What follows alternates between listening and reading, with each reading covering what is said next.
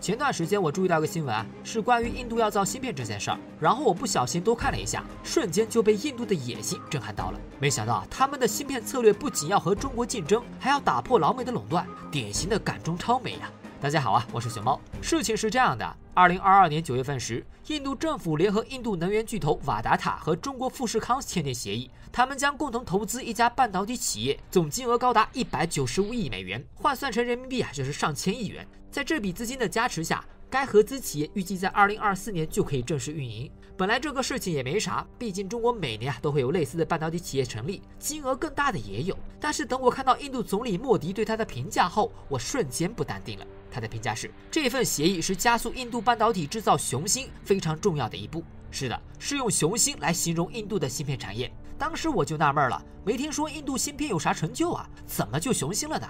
于是我翻遍了关于印度芯片产业的资料，发现，在两个月前，印度塔塔集团的高层也发出过类似的宣言。他说，因为老美的因素，印度很可能成为芯片厂家最终的目的地。很显然，这段话的意思是，印度半导体将取代中国。看到这边我就更好奇了，印度芯片的野心竟然有这么大。于是又翻找了更多的资料，才发现啊，原来是我格局小了。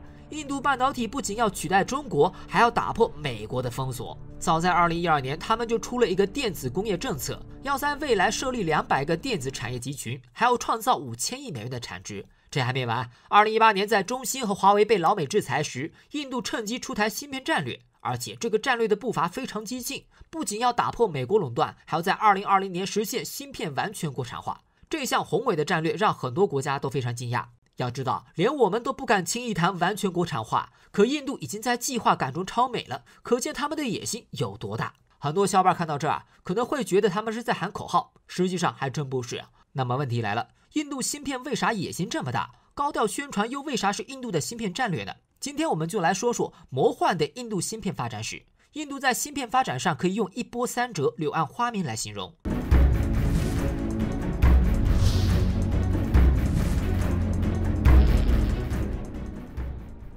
印度布局半导体产业比较早，在一九八零年代，印度就创建了国有半导体企业，也有了一定的积累。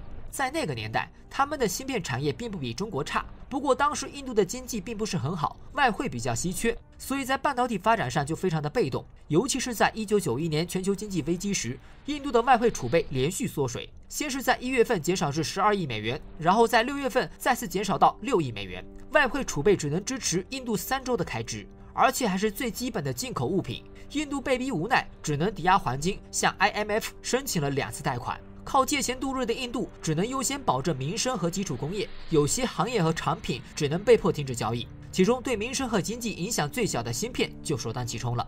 于是印度终止了与美日韩等芯片企业的贸易，而这些企业也是被气得不轻啊！眼看着挣不到钱，就将资金和技术都弄一块撤离印度了。印度好不容易积累起来的芯片制造业一下子就崩溃了。一九九八年，印度因为核实验被老美制裁，很多技术和高科技产品都被禁止进入印度。虽然这个制裁形同虚设，只维持了一年，但是它的影响依旧还在。在此后很长的一段时间内，印度对外资都充满了敌意。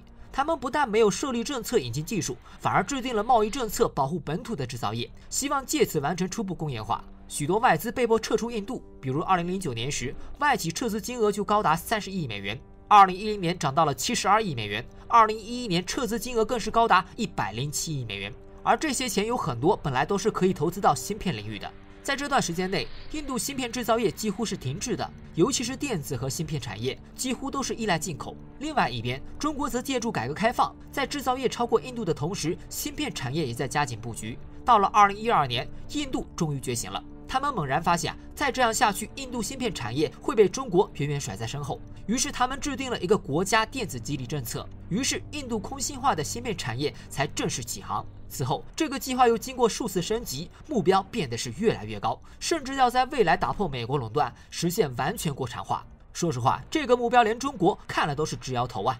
我估计很多小伙伴也不太理解，为啥印度芯片这么有野心？其实答案很简单，那就是庞大的芯片设计人才。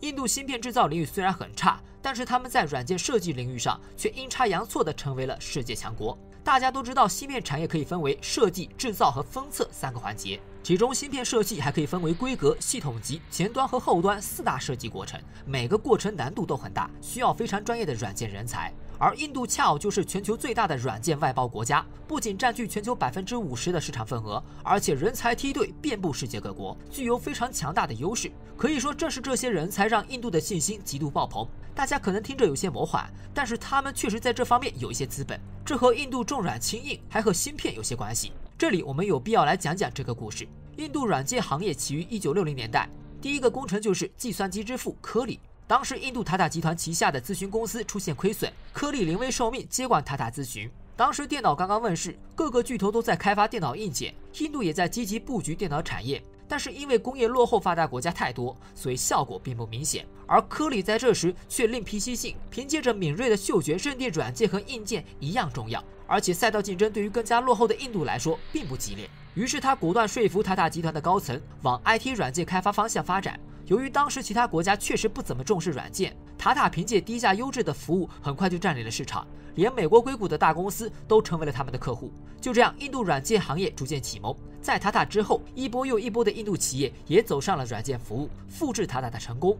但此时的软件更多是集中在某些企业上，还没成为印度的优势行业。印度软件行业真正崛起是在一九八四年。鉴于印度企业在软件行业的成功，当时的印度总理甘地非常看好且认同科里的观点，认为软件它是一个集英语、数学于一身的行业，而印度是除了美国之外最大的英语国家。其次，印度的数学一直是优势科目，两者高度契合。于是，甘地就提出用电子革命把印度带入二十一世纪的发展战略。在此后数十年内，印度制定了一系列政策，从教育培训到企业以及项目的引进上来帮助印度企业发展 IT 软件产业，甚至连税款和银行贷款方面也给予了最大的优先权。在这么多政策的支持下，印度软件行业发展的是风生水起啊！甘地也因此被称为计算机总理。在那段时间里，世界环境出奇的好。美国把中国当做制造业的代工厂，把印度当做软件的外包公司，三者相互配合，一个挣钱，一个挣了工作岗位，一个挣了名声，合作的是相当默契。然而，也有些人批评印度过分支持软件服务，导致印度的科技企业们主动放弃难度更高的硬件制造，转向软件研发和服务，一步步将印度制造业引向了重软轻硬的方向。时至今日，以软件服务为代表的印度服务业相当的发达，很多专家甚至不厌其烦地劝说印度应该放弃制造业，走服务业的路线。说实话，我也觉得这句话说的很对呀，做做本职服务就好了嘛，干嘛非得和中国竞争呢？但是不管怎么说啊，在国家的引导和支持下，印度在二零一零年左右就一跃成为全球软件强国，是当时世界上通过 ISO 九千认证软件企业最多的国家，可谓是人才济济。在印度国内，印度理工大学和纳米电子学英才中心以及全国大量的培训中心，每年都要往全球输送非常多的 IT 人才。硅谷有百分之三十八的工程师是印度裔，比中国还多啊！而印度本土也承包了世界百分之五十的软件外包。印度软件人才已经渗透到了大部分的世界级企业中，比如硅谷的科技巨头和初创企业中有大量的印度裔高层，甚至是 CEO。这些高层和 CEO 掌握着非常大的权力，而且钟爱抱团，不管是管理还是技术上，都非常注重印度人才梯队的储备。可以说，印度裔在世界巨头中掌握着非常多的资源。在这样的环境下，芯片工程师的数量自然就不会太少了。根据统计，印度大概有十二万名芯片工程师，可以占到全球的百分之二十左右。有着“印度硅谷”之称的班加罗尔，坐拥全球百分之五十的半导体设计服务公司，全球著名的半导体巨头几乎都在这儿设立了研发中心。比如 ARM、英特尔、高通、英飞凌、菲斯卡尔等等，印度芯片战略的野心为啥这么大？最大的倚仗就是这些人才以及人才背后的资源。说实话，这些资源也让中国都挺羡慕的。可以说，印度就像是一个偏科生的特长生，他有着自己的骄傲，对任何人都觉得可以放手一搏。也正是这样，印度才在2012年制定了芯片国产化的计划，也就是上面说的国家电子政策。电子政策的规划其实相当宏伟，它预计在全国建立两百多个电子产业带，提高电子产业和芯片产业规模等。在二零二零年，电子产业规模将达到四千亿美元的营业额，为印度创造两千八百万个就业岗位。二零一七年，印度对这个计划升级，并将它分为两大部分，一部分是电子领域的改良特殊激励计划，还有一个就是芯片的集成电路制造激励计划，总计投资一点一亿美元，用来推动半导体产业。二零一八年时，因为老美对我们发起了贸易战，很多半导体企业制定了“中国加一”战略，意思就是啊，在中国之外再建立一个生产基地，目的是为了分散风险。印度电子工业部从中看到了希望，果断调整芯片战略，一边高调宣布自己进军芯片产业，一边加大芯片的投入。他们在每个邦都划了一大片土地，学习中国设立特大经济特区，专门服务电子产业。在这个经济特区里，可以享受到印度的政策照顾，可以说要土地给土地，要钱给钱，其中芯片就是主要的扶持对象。要知道，印度的土地资源是相当紧缺的，能在每个邦州划出片区，足以见得他们对芯片是有多么重视。二零二零年，上天又给了印度一个机会。中国在这一年爆发了疫情这个黑天鹅，很多跨国企业都受到了巨大的冲击。美欧日韩趁机改造世界工业格局，高调宣传引导自家的企业回流或者搬出中国。而处于制造业顶端的芯片，自然是主要的对象。而印度又高调的把口号改成取代中国了。当年五月，他们宣布将成立芯片生产部门，然后又找了很多芯片巨头，比如三星、台积电、英特尔等等企业，只要愿意搬迁，要钱给钱，要土地给土地，要优惠给优惠。同年十月，印度就给了三星显示器工厂一个巨大的政策激励。二零二一年，印度再次拿出一百亿美元，承诺只要符合条件的芯片和显示器企业就可以享受项目成本百分之五十的费用。于是，在二零二二年，就有了富士康和塔塔集团关于一百九十多亿美元的巨额投入。这次印度又高调宣布，印度的芯片雄心正在加速。你看到没有啊？印度的芯片野心非常大，而且还非常的高调。如果不是真正的业内人士，很容易被他们诈唬的一愣一愣的。实际上，高调宣传也是印度芯片战略之一，或者说啊，他们也是被逼无奈，在为以前的错误买单。如果不这么做，世界芯片巨头压根就瞧不上印度芯片产业。这就不得不说到印度对国际芯片巨头的骚操作了。我们都知道啊，印度制造业那是相当的魔幻，几乎任何一家外企在他们这发展，都要面临基础设施、官僚主义、贸易保护以及利益争夺共四座大山，在芯片领域更是有过之而无不及。很多企业要么是不让进来，要么进来了才发现基础条件实在太差了，再或者地方都选址好了，印度官员却不配合，甚至卡住他们建厂的流程。好不容易工厂开起来了，发现限制实在太多了，压根儿就不挣钱。很多芯片企业对印度失去了信任，这可不是我在胡说啊，而是有实际例子的。我简单列举一些，大家就知道了。先说下贸易保护。早在1980年代，印度打算发展芯片半导体，他们考察了许多国家，觉得模仿中国某个省份走国企带动私企的模式是最好的选择。于是，在1983年时，印度国有企业半导体制造公司正式成立，时间比台积电还要早，可以说发展的并不算晚。而且，他们比中国芯片企业走的要顺得多了。他们不仅有政府给资金支持，也有军队的大量采购，还和美日等企业有深入的合作，要设备买设备，要技术引进技术。等 SCL 刚刚站稳脚跟时，印度还特别制定了非常严格的保护政策。他们对某些芯片设备制定了高达约百分之八十的关税，目的就是给 SCL 争取发展时间。这些政策保护也让外企非常不爽。但更关键的是啊，SCL 最终也没发展起来。一九八九年时，SCL 被一场大火烧得干干净净，原因至今都是扑朔迷离。有人说是为了掩盖事实，也有人说是骗保险金等等，反正它就是没发展起来。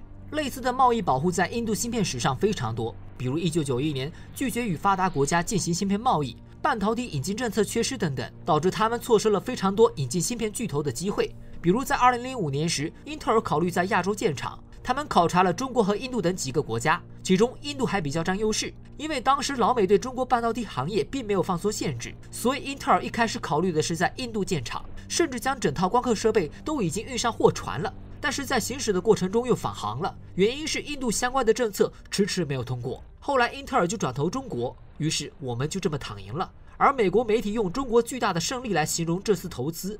印度有这么庞大的设计人才，可惜芯片制造业就是无法实现国产化，终于被迫开始引进技术。很多芯片企业得以在印度建厂，但是他们的基建又开始作妖了。二零一二年，印度发布国家电子政策后，就有一家国际芯片企业希望得到印度的投资。而且他们考察了很多地方，终于选择在了卡纳塔克邦。结果花了大量的精力后，这家企业竟然被拒绝了，理由是废水废渣将影响当地民生。后来被曝是因为没电，听着是不是很魔幻？但确实是这样的。芯片制造是需要消耗大量电力和水资源的。中芯国际每年需要消耗二十九亿度电，而台积电每年消耗的电量更是达到了两百亿度。同时，台积电每年的耗水量也高达七千万吨，妥妥的资源吞噬怪。而印度的电力供应，那简直就是罄竹难书啊！看下下面这张图，中国电工见了都得流泪啊！总之，印度电力基础设施很落后，各邦又相对独立，电网非常难调配，还经常停电，甚至他们的普通民众都拒绝缴费，更别说让他来供养芯片厂了。因为电力等基础设施导致芯片投资失败的案例并不少，比如2005年，ARM 也因为土地纠纷，芯片制造厂被迫终止投资。两千零七年，印度理工学院引进了一套光刻机，结果由于机场处理不当，在运输的过程中设备当场就坏了。可以说，印度基础设施差的连印度政府都看不下去了。于是他们在二零一六年专门成立了一个电子信息技术部，专门负责统筹规划电子工业的发展，希望能为企业解决类似的问题。然而，你以为有了他的支持，芯片企业进入印度就没有后顾之忧了吗？